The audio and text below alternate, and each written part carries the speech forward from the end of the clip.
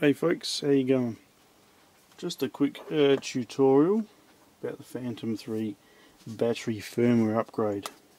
Now you may have purchased a second battery for your DJI Phantom, whether it's the advanced standard or the pro.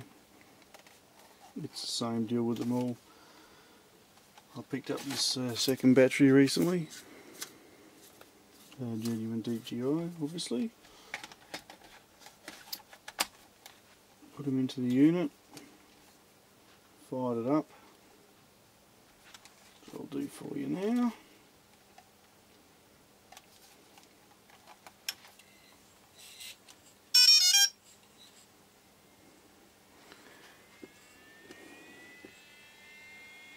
connect away to your DJI Go app.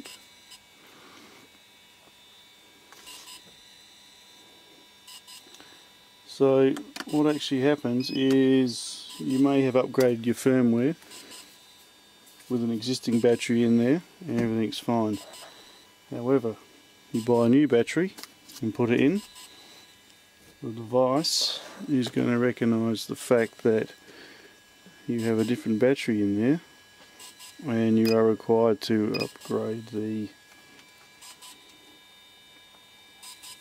you're required to upgrade the um, firmware for the device.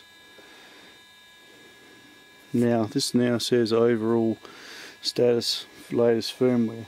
However a short time ago it didn't. So what it's going to say up there is firmware upgrade required CDJI tutorial.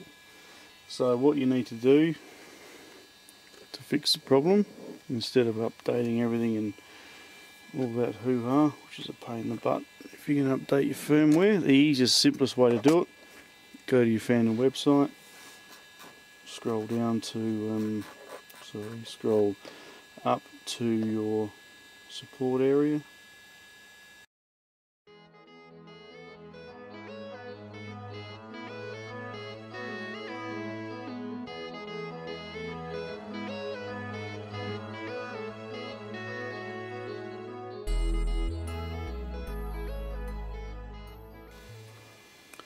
So, as I was saying before, you go to your support on the DJI website, go, go down to product support,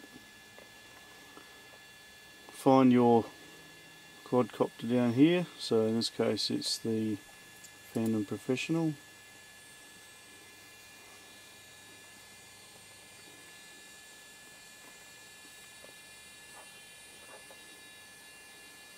Okay, so what you will need to do is click on downloads and the firmware will appear on the top left here. I don't know if you guys can see that, but anyway, it's on the top left. Look for the current version 2911 2016. Hit the zip, download the zip file, and it will appear on your computer as a .bin file. So what you then need to do, power this drone off now. And we'll turn that off. What you then need to do, power down the drone, go to your micro SD card, pull them out, make sure it's empty, no video on it, anything like that. Stick in, in an adapter, put it in your PC, dump the bin file directly onto your micro SD card grab your micro SD card, put it back in the micro SD slot, make sure it's up the right way. Just fits in the side here, can't miss it. No drama. So then what you'll do is turn your drone back on again.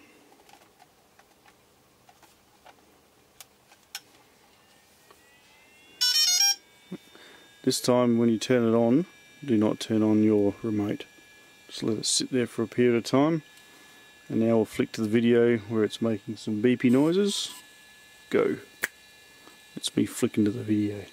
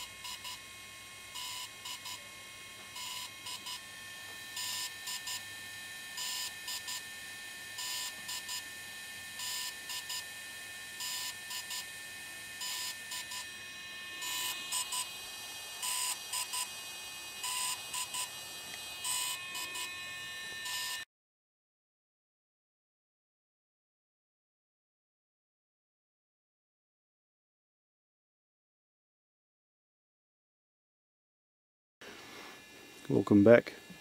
Now you've seen the other video of the noises it makes. That's it actually updating the firmware on the device. Once you restart your quad power back up your remote. Don't have your remote, remote running while you're powering it on for the first time. Okay. So power it on and what you're going to get is a screen. Look at your aircraft battery make sure everything's okay there. No worries. And it'll say overall status latest firmware. So it's now recognized the new battery with the new firmware is now hooked up with your quadcopter. And it will no longer give you that error of saying you've got some battery dramas. If you go down here to aircraft battery 98% everything looks good this battery I've got in here is the new one I've just done so if we go to the um, battery menu it should say it's been charged one times yes it does charged. Times charge just down here. It says the one which is correct. I've only had it one. 30% for low battery. Which is a good spot to sit especially if you're a few meters away from you like I was today and everyone's happy. So there you have it folks. Simple fix. Turn them off. Simple fix for your uh, quadcopter. If you buy a second battery and you get an error on your DJI Go app saying latest firmware needs to be upgraded. Easy fixed. No worries. Any questions? Drop us a line.